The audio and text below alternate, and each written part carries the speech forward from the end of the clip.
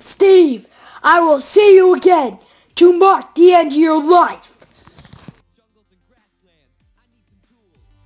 Should I pick? Axe and a sword, yeah, that should do the trick. And back, never bored, creeper time bomb ticks.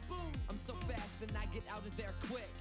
And it's that double tap sprint, gotta love it. I'm running fast, trying to make something of it. And I'm always running out of food to